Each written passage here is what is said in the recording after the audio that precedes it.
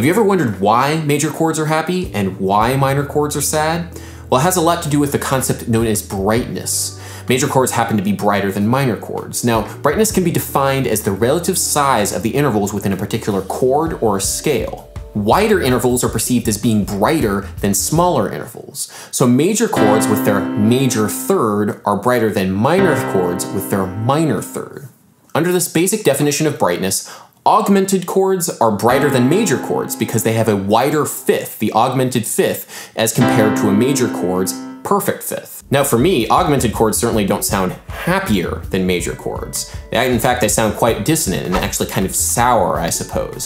So you actually have to think about brightness as its own unique music characteristic aside from happiness or even consonance and dissonance. It's related though, because too much brightness in a chord sounds dissonant, like an augmented chord, but too little brightness and it also sounds dissonant, like a diminished chord, for example. The balance of the size of the intervals and thus the brightness of major and minor chords is what makes them so useful for us. Now we can apply the idea of brightness to more than just chords. We can actually apply them to scales as well. Let's take the seven modes of the major scale. I have them listed here from brightest to darkest. Lydian is brighter than Ionian, the major scale, because of the raised fourth degree. Mixolydian, on the other hand, is darker than Ionian because of the lowered seventh, but it happens to be brighter than Dorian, which is brighter than Aeolian, which is brighter than Phrygian, which is brighter than Locrian, which happens to be the darkest mode. Now, if you take a look at this list of scales, you might notice that Dorian is in the center mm. of it. Hmm.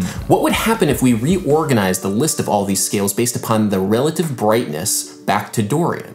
This would involve assigning each one of the other modes in the major scale a number based upon the total number of pitches that need to be changed from Dorian in order to get that mode, and in what direction, up or down. Now we could call this number something super pretentious like the Dorian brightness quotient or something like that, which I quite like the sound of anyway. But for right now, we're just gonna call it the brightness. For example, relative to Dorian, Mixolydian has a brightness of plus one. So the interesting thing happens when we start inverting these scales. Now, in order to invert a scale, what you do is you build from the root in the opposite direction you normally would in terms of whole steps and half steps.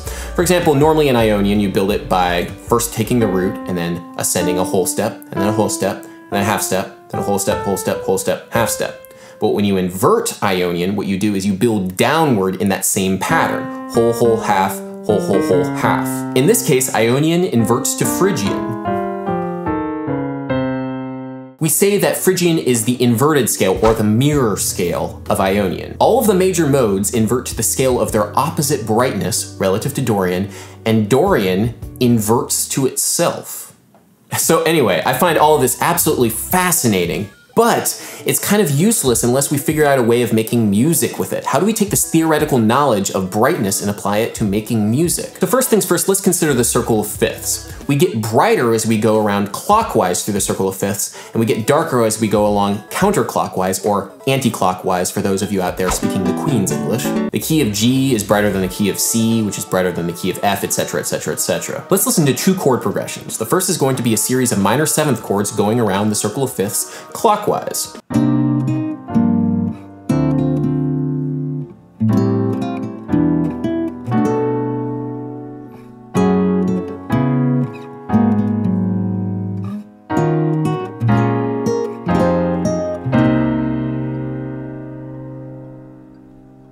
Feel like this chord progression is expanding. It's getting higher and higher, even if the actual pitches of the notes aren't always ascending and going upwards. Contrast that to this chord progression of minor seventh chords, which are going the opposite direction around the circle of fifths.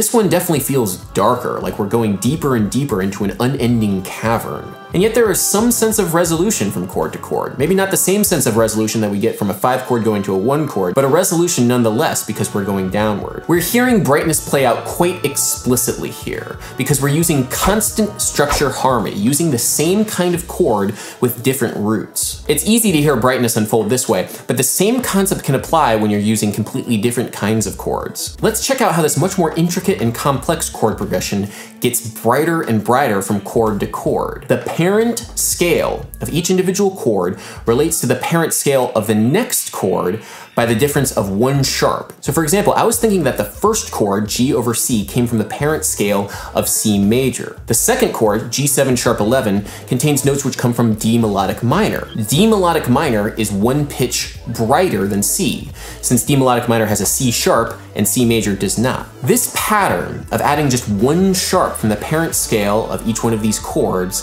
continues throughout the progression.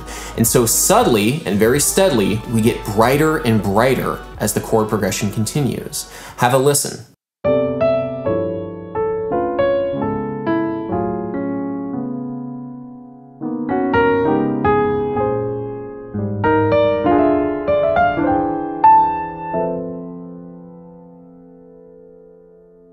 It's a subtle but very powerful compositional technique that you can use to create unity among chords that, on the surface, don't seem to be related to one another at all. Going beyond this one particular technique, we can call this kind of harmony non-functional harmony, because as a whole, it doesn't seem to have any function within one particular key. Each chord is its own island in a sea of harmony. About six years ago, I was really into this intense study of modes, and I wrote a series of blog posts on my old WordPress, which unfortunately doesn't exist anymore, otherwise I would link to it, where I would happily invent terms like gradational modulation and andihemitonic heptatonic modality, among others. Some people liked these ideas, so they took them and tweaked them, and quite frankly, made them a lot better. Um, and a few of them kind of made their way into this book, which is Modalogy, written by Jeff Brent, Hal Leonard book. So definitely check that out if you found this lesson at all interesting. Eventually, I kind of moved away from this intensive study of the modes because although I found it all very fascinating, I wasn't really writing too much music at the time. From this, I learned that a big value in theory comes from its application. How do you actually use the ideas that you come up with and the ideas that you learn to make music with them? It's amazing thinking about things like the inner workings of brightness and other interesting concepts within music but only if it enriches your sense of music making. I never really want to forget to make music in the first place. Anyway, this has been Adam Neely. Thank you very much for watching this.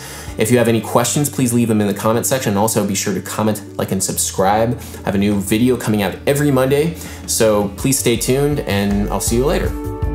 If you're interested in this stuff, please definitely check out the bonus video. You can either click on the annotation here or in the links below. It contains a lot more material that I wasn't able to get to in this main video. So please enjoy, and I'll see you next time.